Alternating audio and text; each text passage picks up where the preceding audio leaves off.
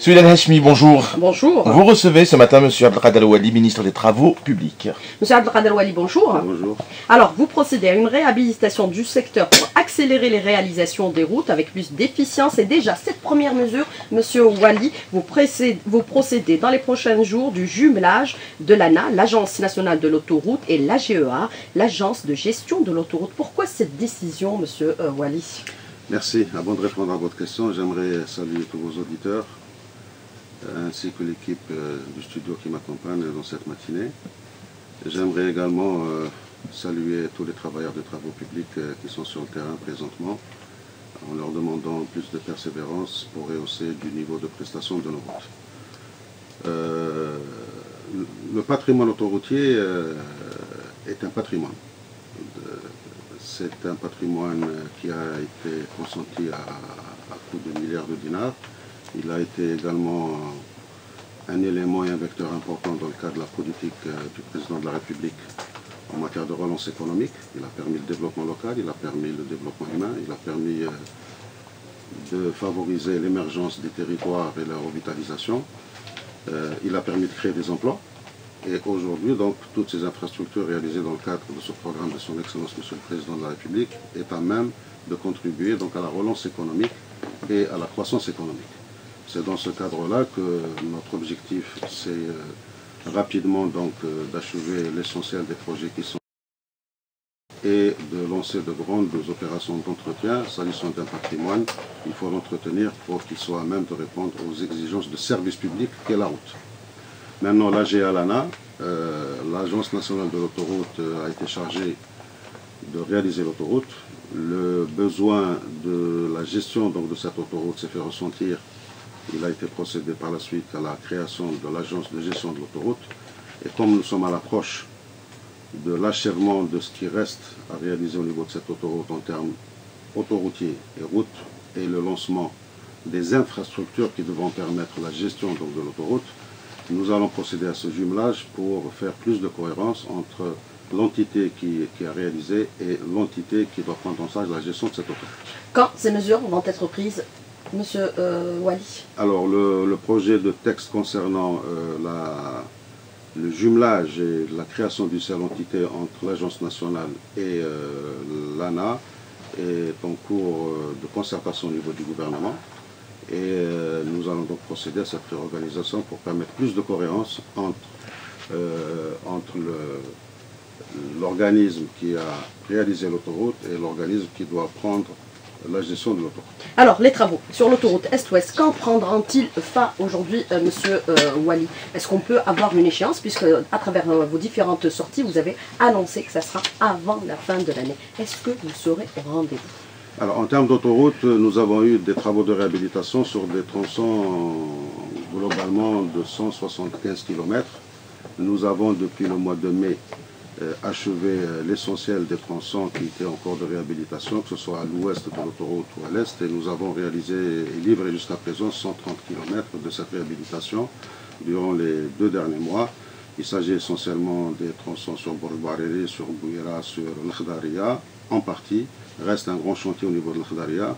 Il y a également beaucoup de tronçons qui ont été réalisés et euh, achevés en termes de réhabilitation et livrés à la circulation au niveau de, de l'Afron, au niveau de, de Blida, au niveau de Ain Fla et au niveau du Schlef. Et on vient d'ouvrir tout récemment un autre, un autre chantier au niveau de Rodizan pour réhabiliter 23 km. Alors, le contournement de Wash aujourd'hui, où est-ce que vous en êtes dans les travaux et la réalisation de ces travaux qui bloquent depuis quelques temps déjà pour accorder Constantine Askikda Le contournement de Wash a été imposé par euh, l'accident euh, sur la réalisation donc, euh, des deux tunnels, euh, des deux tunnels Et il fallait à l'époque trouver une solution de substitution du fait que l'entreprise Cojal, après cet incident, a pratiquement déserté le chantier pour des mésententes techniques et financières entre, avec l'ANA. Et donc les autorités de l'époque en charge du ministère des Travaux publics ont décidé euh, de procéder donc à un contournement pour euh, éviter un blocage dans la continuité de cette autoroute et puis la liaison surtout avec Skikda et Annaba.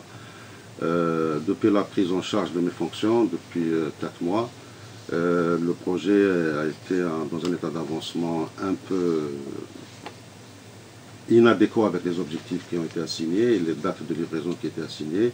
Aujourd'hui, nous sommes pratiquement à 75% de taux de réalisation et on escompte euh, livrer donc ce tronçon de 13 km de contournement deux fois en, deux, fois de voie, c'est-à-dire que c'est un tronçon autoroutier euh, vers le mois d'octobre. Mais il fallait également continuer euh, après ce contournement et donc après le, tunnel dont on ne peut pas solliciter aujourd'hui le, service, 5 km sur le tracé qui a été réalisé par Kojal et, euh, équiper un autre tunnel au niveau de Djibel Kantour, au niveau de Skikda, pour qu'on puisse aboutir rapidement au niveau de Anabé et de Skikda. Mais certains considèrent, et un auditeur nous pose cette question, que le contournement a coûté trois fois plus cher que le tunnel qui aurait pu peut-être être achevé, le creuset du, chemin, euh, du tunnel qui aurait pu être euh, achevé. Quel est votre commentaire justement sur cette question? D'abord, il ne coûte pas trois fois plus cher. Ensuite, du fait que Kojal a cessé des travaux à ce niveau-là et qu'un contentieux a été ouvert par leurs soins, on ne pouvait pas rester otage. Et personnellement, c'est ce que j'ai tenu à préciser à Kojal, qu'on ne restera pas les bras croisés par rapport à ce contentieux. Donc, ce contournement est nécessaire et il a été fait dans des délais relativement euh, acceptables, bien qu'il y ait un retard qui a été enregistré, mais la reprise du tunnel et l'achèvement du tunnel aurait pris beaucoup plus de temps que euh, la réalisation de ces 13 km de contournement. Et n'importe comment, même après la mise en service du tunnel, ce contournement sera toujours utile pour la régulation et la gestion de la circulation au niveau de Constantine. Et si je comprends bien vos propos, le contournement prendra fin au mois d'octobre prochain Avec, en plus, la réalisation de 5 km supplémentaires qu'on reprend sur les travaux de Kojal non achevés et l'équipement d'un tunnel pour assurer la liaison directe sur Annaba et Skikta. C'est un engagement? Un engagement. Alors, autre question, monsieur euh, Wali, le conflit Kojal, vous en êtes où aujourd'hui dans la gestion de ce contentieux avec le consortium chinois et japonais? Alors, pour le conflit Kojal, euh, à un moment donné, il y avait une rupture euh, de négociation entre l'ANA, qui est donc le maître d'ouvrage délégué, et Kojal, un contrat de réalisation lié donc ces deux entités. Après l'incident qui s'est produit au niveau du tunnel, il y a eu euh, une dislocation du dialogue entre ces deux entités. À partir de là, euh, l'ANA, et à juste titre, a réclamé des justifications, des explications par rapport à, cet incident. Néanmoins, euh, compte tenu de ce blocage, j'ai eu à discuter avec l'ambassadeur du Japon deux reprises et donc j'ai fait des propositions après consultation euh, de M. le Premier ministre sur la façon dont il fallait reprendre euh, euh, les discussions avec Kojal. Et à ce titre, et après les propositions que j'ai émises, j'ai eu à recevoir le coordinateur général de Kojal à quatre reprises à Alger et je lui ai fait part, un, de nos, de nos exigences et j'ai eu à, l'écouter sur ce, ce qui réclamait à la partie algérienne. Globalement, notre condition sine qua non, c'est la reprise du tunnel qui a connu des perturbations suite à un début de travaux par projet. Donc on n'est pas dans une situation de blocage, mais dans une situation de négociation. Nous sommes dans une situation de négociation, mais euh, on ne restera pas les bras croisés et on ne va pas euh, perdurer dans ce type de négociation. C'est-à-dire en termes clairs, M. En termes clairs, en termes clairs, nous allons nous, nous prendre nos responsabilités pour ne pas prendre en otage la population sur ce tronçon, il faut que les populations et les citoyens puissent arriver jusqu'à Skikda et Constantine. Et nous, nous, sommes en train de reprendre une partie des travaux réalisés par, par projet pour achever cette liaison. Et nous réfléchissons, nous réfléchissons sérieusement à, aux conditions de reprise après négociation avec eux, avec ou sans eux, pour terminer euh, Dran, frontière tunisienne. Mais quand les travaux sur l'autoroute Est-Ouest seront totalement alors, sur l'autoroute Est-Ouest de Tlemcen jusqu'à Skikda et, et, et, Annaba, octobre, à l'exception d'un tronçon sur l'Akhdaria qui connaît un très grave problème de glissement de terrain et qui nécessite des solutions très complexes puisqu'il s'agira de réaliser l'équivalent de 5 ponts enfouis là pour des problèmes de qualité, d'exigence de qualité et de durabilité donc, de ces ouvrages d'art, on ira jusqu'au mois de mars, voire juin, mais l'essentiel... 2016. 2016, mais tous les travaux de réhabilitation seront achevés avec arrivée Skikda Annaba vers fin octobre. Quand allez-vous instituer le péage, monsieur euh, Wali? Alors le péage, Sur le, le péage d'abord il est destiné à l'entretien de l'autoroute pour lui donner un niveau de prestation de service euh, et également assurer le remboursement de, de l'autoroute, du montant consenti pour la réalisation de l'autoroute parce que 50% du montant euh, est un prêt consenti euh, par euh, le Fonds national d'investissement à l'ANA. Le péage sera mis en œuvre après la réalisation des équipements de péage, puisque nous aurons donc des péages sur l'axe central, des portes, si vous voulez, de péage sur l'axe central, euh, sept portes, sept, euh, sept gares de, péage, et nous aurons également des péages et des gares de péage au niveau donc, des différentes pénétrantes. C'est ça qui va organiser le péage, c'est ça qui va nous permettre d'assurer un flux contrôlé, un flux maîtrisé, mais surtout, surtout, assurer des prestations de services et de qualité au niveau de... Quand est-ce que vous avez une échéance? Alors, le contrat prévoit l'achèvement de ces infrastructures vers, euh, vers la fin euh, 2016. Je reste précautionneux et euh, nous allons bientôt faire un point de situation pour euh, arrêter définitivement l'échéance euh, liée à ce péage. Alors j'ai une question euh, liée à cette, euh, cette- d'un auditeur qui dit que la route est un service public par excellence. Il sera Absolument. difficile de convaincre le- les usagers de payer pour une autoroute en si mauvais état. Quel est votre commentaire sur cette question Dans les travaux aussi de réflexion durent depuis plus d'une année? Alors, l'autoroute Est-Ouest, c'est 1216 km. Ce qui est pris en charge en termes de requalification, comme le, comme le signifie le citoyen en si mauvais état, connaissent des projets de réhabilitation qui sont achevés à 70%. L'objectif, c'est de mettre à la disposition du citoyen une autoroute de qualité, cohérente, avec un confort au niveau de la circulation et une sécurité au niveau de la circulation. Maintenant, l'essentiel, c'est de mettre en place l'outil de gestion pour que cette autoroute présente les meilleures qualités possibles de prestations et de qualité. Vous lancez justement les unités d'intervention sur l'autoroute. Alors, nous avons deux types d'unités d'intervention. Nous avons les unités d'intervention sur l'autoroute Est-Ouest avec l'agence de gestion de l'autoroute, justement, qui a déployé des patrouilleurs et des équipes d'intervention de nettoyage et de réfection. Euh, nous le faisons crescendo, même, avant même le péage. Et nous avons également au niveau du territoire, pour l'ensemble du réseau routier qui est de 23 000 km réalisé de- dans- depuis 1999, et 98 000 km, 98 000 km au niveau donc, de l'ensemble du territoire, des unités de, de surveillance et d'intervention dont le rôle est essentiellement de surveiller le réseau et de faire des interventions indépendamment du programme d'entretien qui est arrêté au niveau de chaque wilaya pour l'entretien des réseaux routiers. Alors les maisons cantonnières aujourd'hui, est-ce que vous allez les relancer, les dynamiser? Alors, les maisons cantonnières, nous en avons réalisé 400. Euh, ces maisons cantonnières ont besoin d'un texte euh, pour leur permettre euh, de fonctionner donc, euh, de, de façon convenable. Nous allons commencer à mettre dans ces maisons cantonnières, ce qui a déjà commencé, des équipes d'entretien et euh, qui auront la charge d'entretenir les réseaux dans une position statique et de surveillance. Alors le Grand Port Centre aujourd'hui, le gouvernement a adopté ce projet, Monsieur euh, Wali. Alors, d'abord, nous sommes au niveau du choix du site. Euh, Il n'a pas encore été défini? Nous sommes, j'arrive. Nous sommes au niveau du choix du site. Euh, le ministère des Transports a engagé un bureau d'études coréen qui a fait des choix sur 180 km de côte.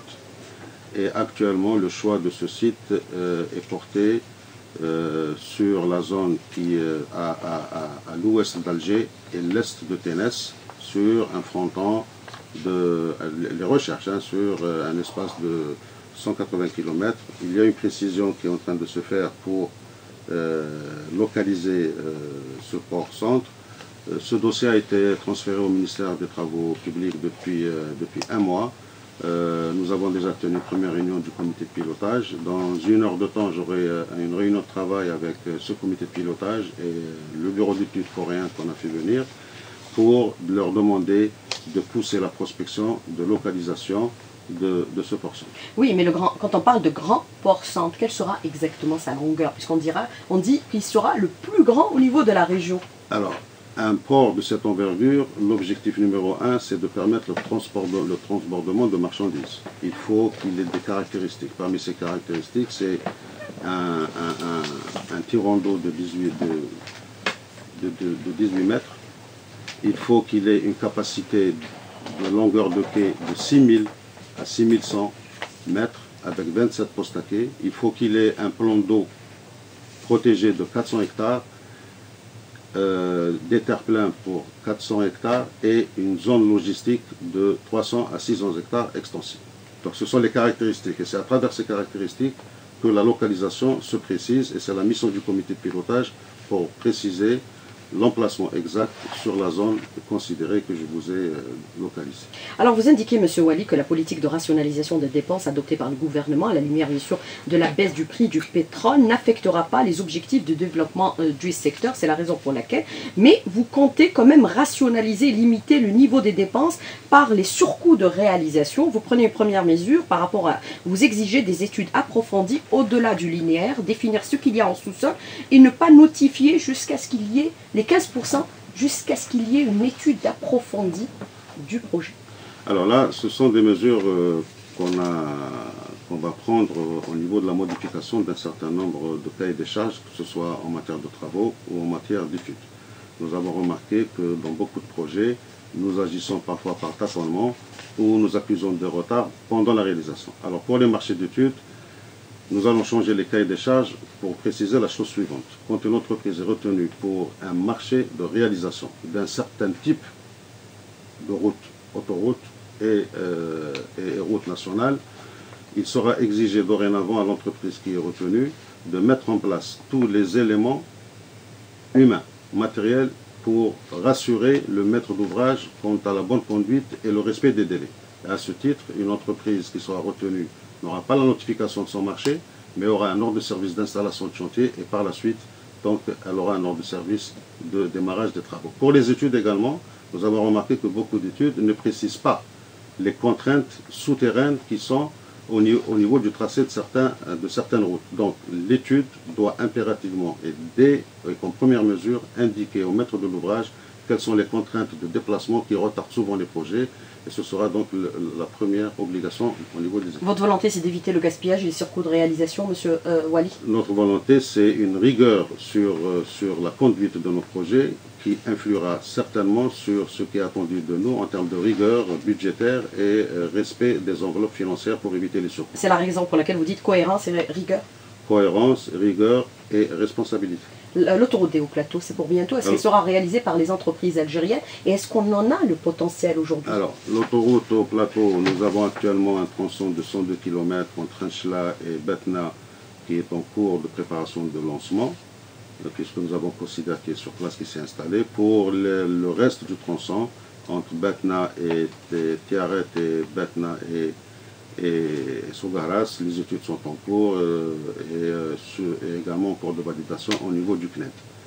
Alors, euh, pour les entreprises algériennes, nous en avons 3300 alors, les entreprises, les entreprises qui, qui, qui, qui, activent dans le secteur des travaux publics, nous avons plus de 3300 entreprises, différentes qualifications de 1 à 9. Nous en avons 180 de qualification 8 à 9. Et là, euh, nous comptons donc euh, faire un audit sur l'ensemble de ces entreprises. Concernant les entreprises du secteur, nous dénombrons 50 entreprises qui relèvent du secteur. Ces entreprises euh, seront regroupées ou feront l'objet d'une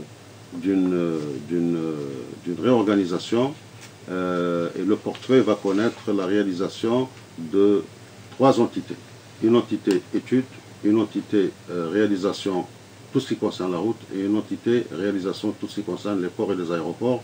C'est pour permettre une meilleure cohérence donc, et une synergie entre les trois entités chargées de la prise en charge du programme important du ministère des Travaux publics. Et nous avons déjà commencé, euh, dans ce cadre, à euh, délocaliser certaines entreprises en manque de plan de charge, par exemple, sur euh, les hauts plateaux et le sud, où nous avons un programme très important en matière d'infrastructure routière. Mais euh, un auditeur, une dernière, une toute petite question. Il vous dit, vous instituez aujourd'hui l'entretien des routes, mais ça ne sert à rien si vous n'appliquez pas le pesage pour les grands transporteurs qui, eux, abîment la route, monsieur. Euh, Là aussi, Wallis. là aussi, nous avons euh, deux, deux projets de texte que nous sommes en train d'initier. C'est un, un texte qui va rendre obligatoire le pesage de certains nombres donc de, de camions de transport. de À partir de quand? Dès que le texte sera mis en place, c'est une nouvelle initiative que nous venons de prendre, C'est-à-dire Dans un mois Dans deux mois? Disons dans deux mois, le temps de la concertation. Et nous aurons également à proposer au gouvernement un texte qui va rendre obligatoire la circulation sur, le- sur tous les tronçons autoroutiers des poids lourds sur la voie de droite pour éviter de, de- de la surcharge sur les deux autres voies qui sont souvent des causes de, de, de- perturbation de la chaussée. Et réduire également les accidents de la Et circulation par la même occasion. Absolument. Monsieur Abdelkader Wali, merci d'avoir répondu à nos questions et d'avoir été en direct avec nous ce matin dans le studio en espérant vous recevoir bientôt une fois que l'autoroute sera totalement achevée. À bientôt. C'est moi. Merci beaucoup à votre disposition et à disposition de l'écoute euh, des auditeurs. Et merci à tous les auditeurs qui nous ont